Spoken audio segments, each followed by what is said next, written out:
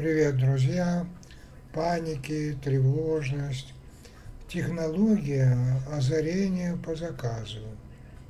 Райская группа для изобретателей. И вообще вот, вот это вот, например, когда мы сдавливаем пальчики, стало уже песней народной.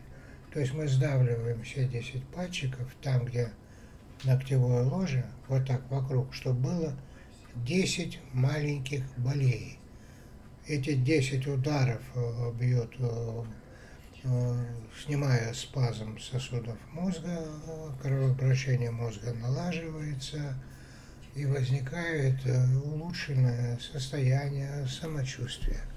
Друзья, почему я обо всем этом рассказываю?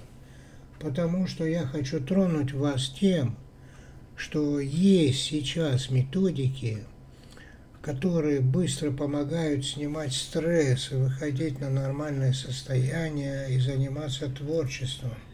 Кто чем? Я, например, рисую, пишу книги, обучаю специалистов, обучаю спортсменов, обучаю людей самого разного образа деятельности, снимать стресс и выходить на творческое состояние. Почему я это повторяю еще раз? Это же так важно – потому что противодействие стрессу – это любимое дело.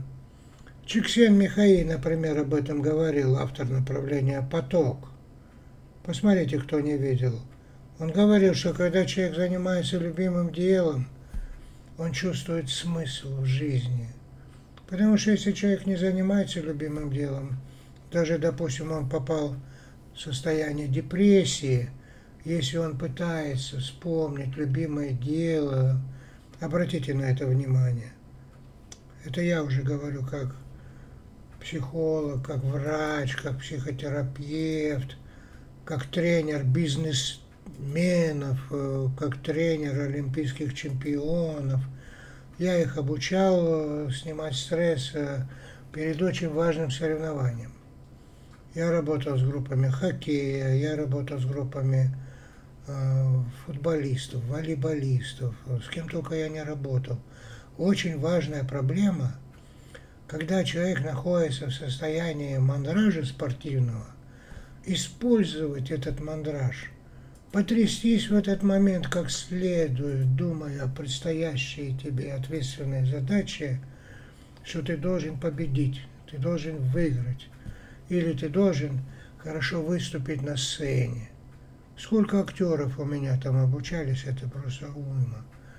Да, я даже в Щукинском училище курсы проводил. Мы так там хорошо и интересно поработали. И это уж мне тогда сказал, когда ему показал еще видеофильм «Азбука саморегуляции для детей, их родителей, педагогов», он мне сказал, ты знаешь, говорит, э, я, говорит, когда нервничаю, я руку перед собой на стол положу и вот так стучу и успокаиваюсь. Да, ну у каждого человека момент нервного напряжения есть э, в организме защитная реакция. Защитная реакция в момент стресса надо прислушаться к себе – и почувствовать, что тебе в этот момент хочется сделать. Может потрястись, может быть, хочется, а может поорать, а может постучать по столу, а может сделать то, что делает большинство людей, и дети делают, и даже не зная методы ключа, они делают шалтай-болтай. Но мы делаем это осознанно. И поэтому у нас вектор внимания направлен – не на качество выполняемого движения, как в других методах мира, как пишут, а вектор внимания в упражнениях, приемах метода ключ направлен, еще раз повторяюсь, не на качество выполняемого конкретного приема или упражнения, а на решаемую волнующую задачу. И тогда вы делаете прорыв. Да, вы начинаете понимать, как ее лучше решить. Потому что здесь инструмент – представлен к месту. Вот оно в чем дело. Я вам хочу сказать, друзья, подписывайтесь на канал у меня в Телеграме. Там есть интересные сейчас фотографии, я поставил выдающегося олимпийского чемпиона чтобы вы определили, кто это и в каком городе, и в какой стране я проводил эти занятия. Там на Телеграме можете посмотреть. Вы узнаете этого чемпиона. А это такое большое такое. Ну, посмотрите.